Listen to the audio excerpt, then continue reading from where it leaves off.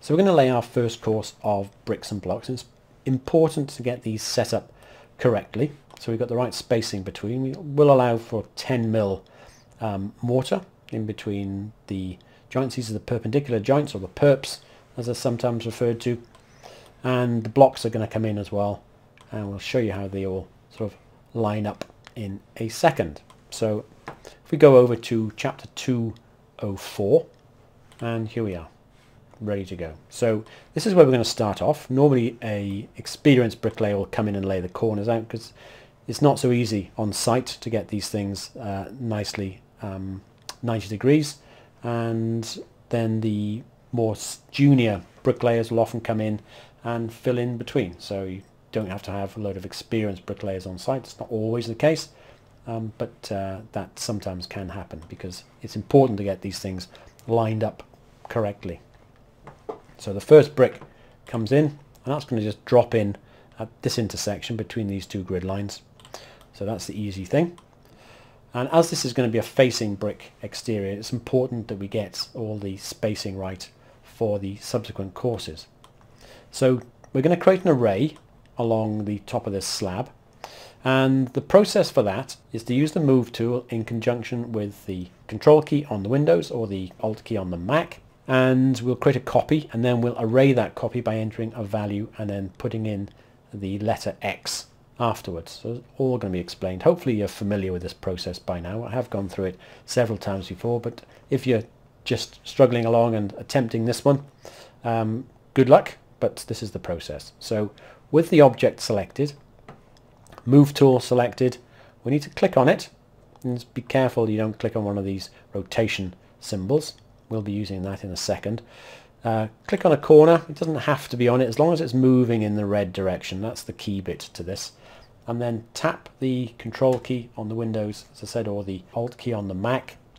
And we need to enter the distance, which includes the perpendicular joint. So 215 is the length of the brick, 10 mil is the joint thickness or joint width, so we're looking at 225. And then hit enter Let's just minimize this so you can actually see what's happening. Keep an eye on this bottom corner. This is where all the values are going in. Now because I have just clicked these things, I'm not sure whether this is going to work, but if I enter then uh, 11x, it's not going to work because this thing has not changed. So I'll just go through that process again so you can see the values. Keep an eye on this bottom corner. So delete that. Select the brick go to the move tool, click on the brick and then tap the control key 225 enter. And then we're looking at 11 and then X and then hit enter again.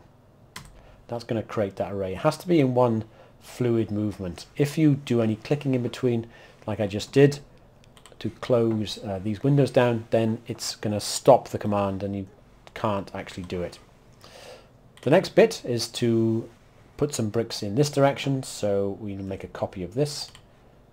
Tap the control key or the command key.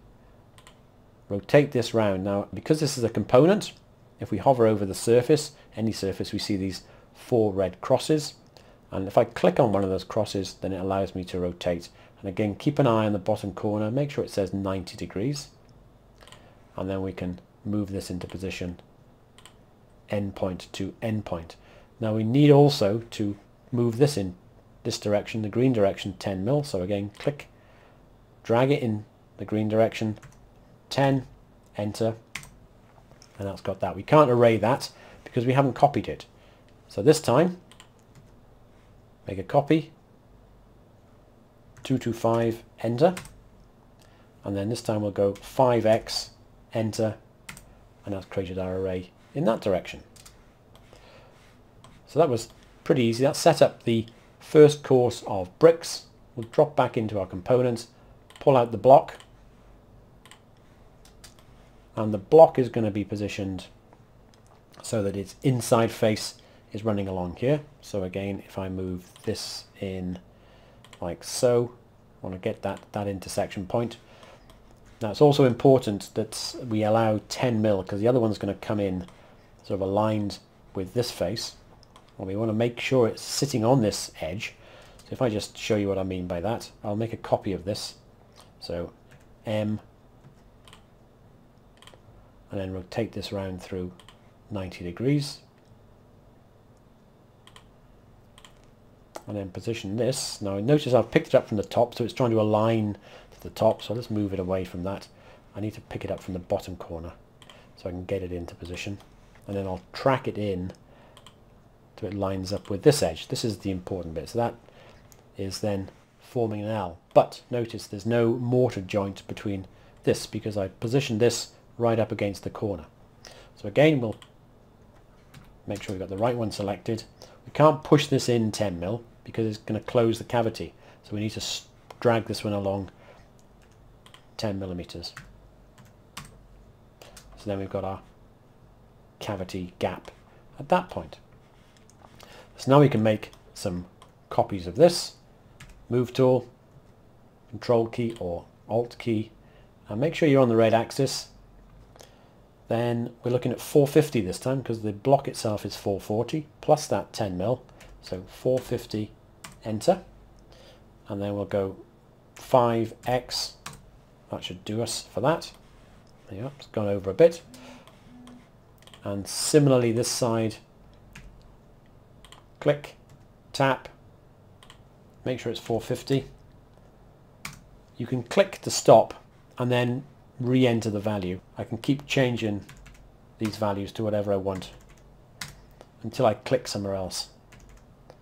So even if you set the wrong value first time out, providing you've set the right value, then you're good to go. And then I can go 2x, and that's going to put it in. It's going to remember the last value. So this array command is very, very useful. So now we've created our first course of brick and block. In the next video, chapter 205, we can start building our stretcher bond correctly.